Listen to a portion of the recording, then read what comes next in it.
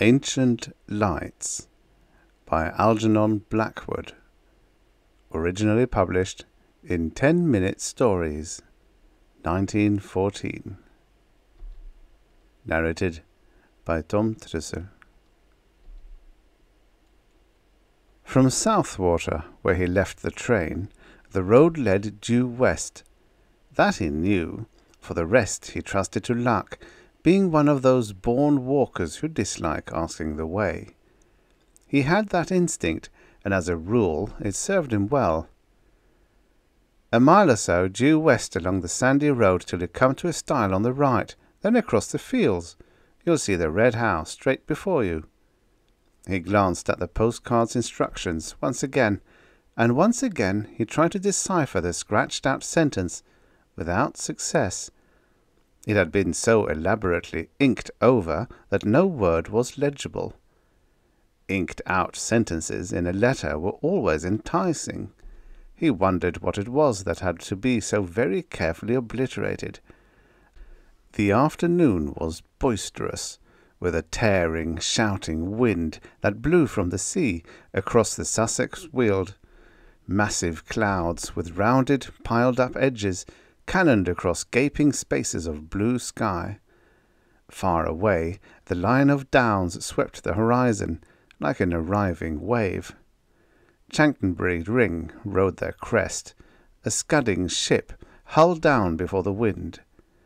He took his hat off and walked rapidly, breathing great draughts of air with delight and exhilaration.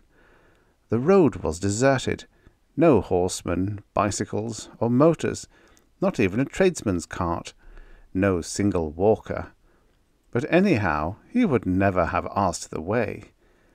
Keeping a sharp eye for the stile, he pounded along, while the wind tossed the cloak against his face and made waves across the blue puddles in the yellow road.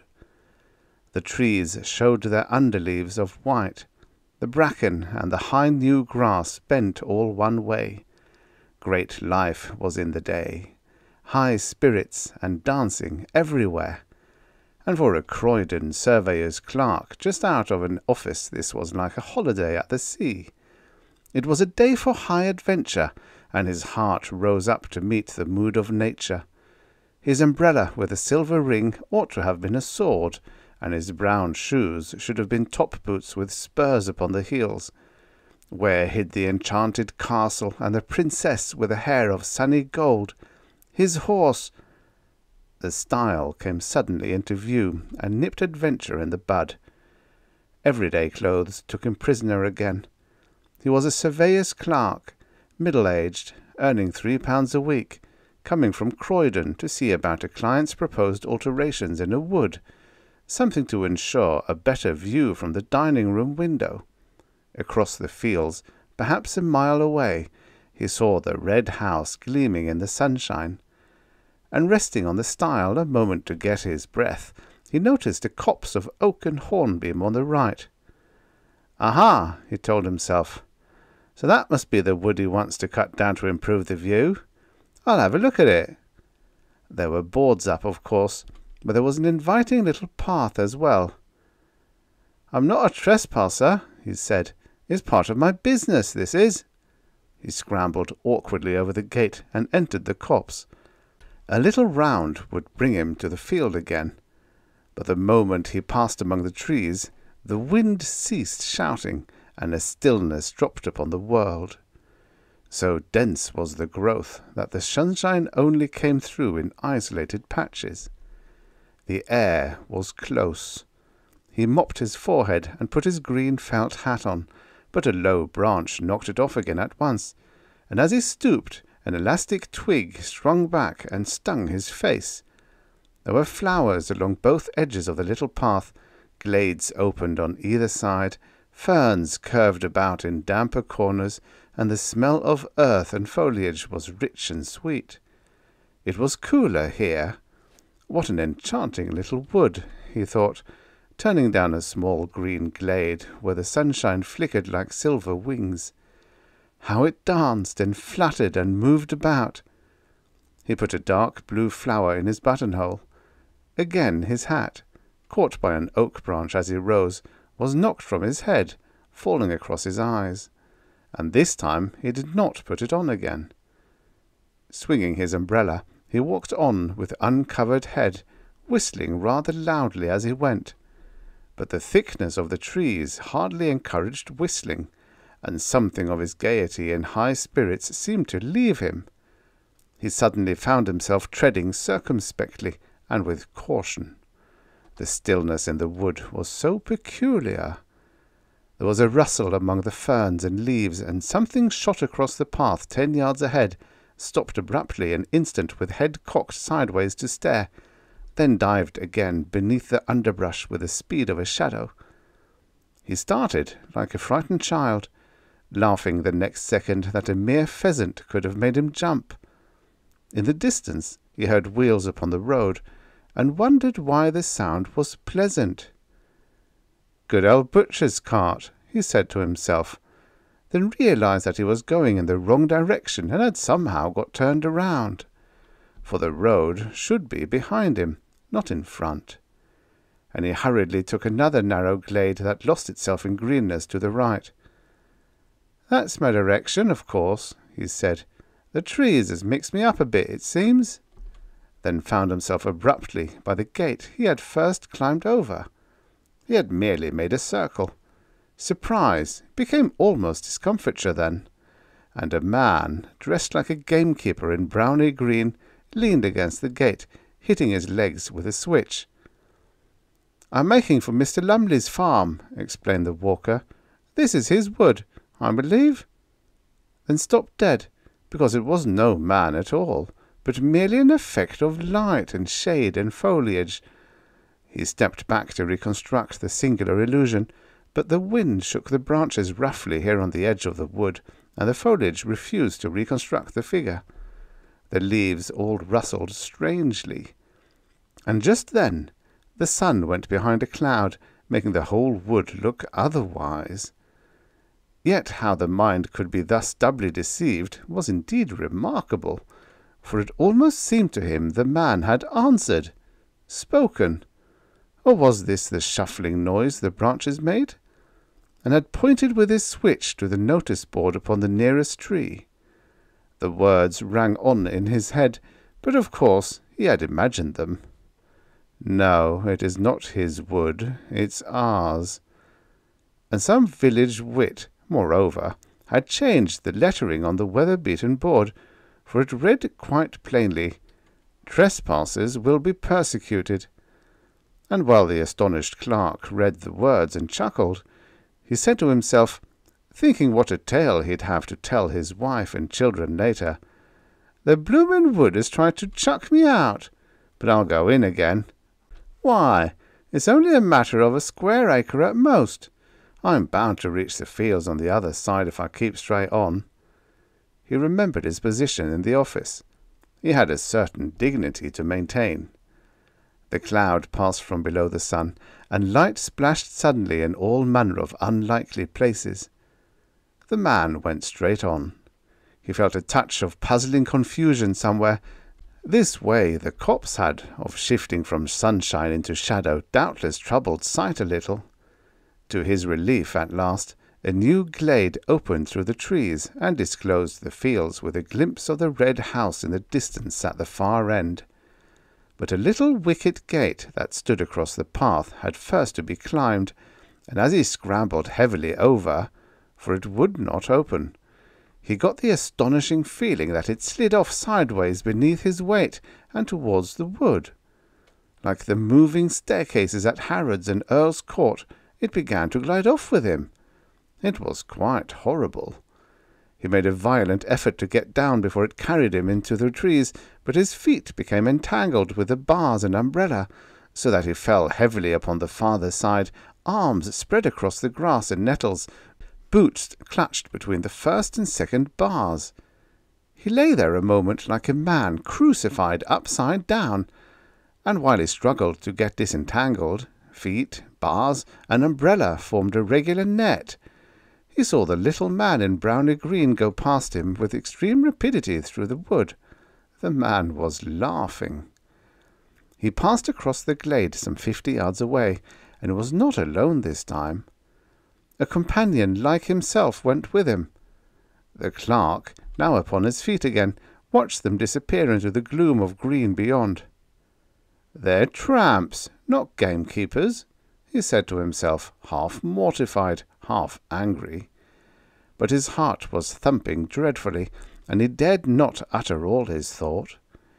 He examined the wicket gate, convinced it was a trick gate somehow, then went hurriedly on again, disturbed beyond belief to see that the glade no longer opened into fields, but curved away to the right. What in the world had happened to him? His sight was so utterly at fault. Again the sun flamed out abruptly and lit the floor of the wood with pools of silver, and at the same moment a violent gust of wind passed shouting overhead. Drops fell clattering everywhere upon the leaves, making a sharp pattering as of many footsteps. The whole copse shuddered and went moving. Rain, by George! thought the clerk, and feeling for his umbrella, discovered he had lost it. He turned back to the gate and found it lying on the farther side. To his amazement, he saw the fields at the far end of the glade, the red house, too, ashine in the sunset. He laughed then, for, of course, in his struggle with the gate, he had somehow got turned around, had fallen back instead of forwards. Climbing over, this time quite easily, he retraced his steps. The silver band, he saw, had been torn from the umbrella. No doubt his foot, a nail, or something had caught in it and ripped it off. The clerk began to run. He felt extraordinarily dismayed. But while he ran, the entire wood ran with him, round him, to and fro, trees shifting like living things, leaves folding and unfolding, trunks darting backwards and forwards, and branches disclosing enormous empty spaces then closing up again before he could look into them. There were footsteps everywhere, and laughing, crying voices, and crowds of figures gathering just behind his back till the glade, he knew, was thick with moving life. The wind in his ears, of course, produced the voices and the laughter, while sun and clouds, plunging the copse alternately in shadow and bright dazzling light, created the figures. But he did not like it and went as fast as ever his sturdy legs could take him. He was frightened now. This was no story for his wife and children. He ran like the wind, but his feet made no sound upon the soft mossy turf. Then, to his horror, he saw that the glade grew narrow. Nettles and weed stood thick across it. It dwindled down into a tiny path, and twenty yards ahead it stopped finally, and melted off among the trees. What the trick gate had failed to achieve, this twisting glade accomplished easily, carried him in bodily among the dense and crowding trees. There was only one thing to do turn sharply and dash back again, run headlong into the life that followed at his back, followed so closely, to that now it almost touched him, pushing him in and with reckless courage this was what he did. It seemed a fearful thing to do. He turned with a sort of violent spring, head down and shoulders forward, hands stretched before his face. He made the plunge. Like a hunted creature, he charged full tilt the other way, meeting the wind now in his face. Good Lord! The glade behind him had closed up as well. There was no longer any path at all. Turning round and round like an animal at bay, he searched for an opening, a way of escape, searched frantically, breathlessly, terrified now in his bones. But foliage surrounded him, branches blocked the way. The trees stood close and still, unshaken by a breath of wind, and the sun dipped that moment behind a great black cloud. The entire wood turned dark and silent. It watched him. Perhaps it was his final touch of sudden blackness that made him act so foolishly, as though he had really lost his head. At any rate, without pausing to think, he dashed headlong in among the trees again. There was a sensation of being stiflingly surrounded and entangled, and that he must break out at all costs. out and away into the open of the blessed fields and air. He did this ill-considered thing, and apparently charged straight into a oak that deliberately moved into his path to stop him. He saw it shift across a good full yard, and being a measuring man, accustomed to theodolite and chain, he ought to know. He fell, saw stars, and felt a thousand tiny fingers tugging and pulling at his hands and neck and ankles. The stinging nettles, no doubt, were responsible for this. He thought of it later. At the moment it felt diabolically calculated. But another remarkable illusion was not so easily explained. For all in a moment, it seemed, the entire wood went sliding past him with a thick, deep rustling of leaves and laughter, myriad footsteps, and tiny little active, energetic shapes. Two men in browny green gave him a mighty hoist, and he opened his eyes to find himself lying in the meadow beside the stile where first his incredible adventure had begun. The wood stood in its usual place and stared down upon him in the sunlight. There was the red house in the distance as before. Above him grinned the weather-beaten notice board. Trespassers will be prosecuted. Dishevelled in mind and body, and a good deal shaken in his official soul, the clerk walked slowly across the fields. But on the way he glanced once more at the postcard of instructions and saw with dull amazement that the inked out sentence was quite legible after all beneath the scratches made across it. There is a short cut through the wood. The wood I want cut down, if you care to take it. Only care was so badly written, it looked more like another word. The C was uncommonly like a D. That's the copse that spoils my view of the downs, you see his client explained to him later, pointing across the fields and referring to the ordnance map beside him. I want it cut down and a path made so and so. His finger indicated direction on the map. The fairy wood, it's still called, and it's far older than this house. Come now, if you're ready, Mr. Thomas, we might go out and have a look at it. The end. Subscribe for your daily stories of futures past. And don't forget to check out the channel. There's hundreds of stories. Hundreds of stories.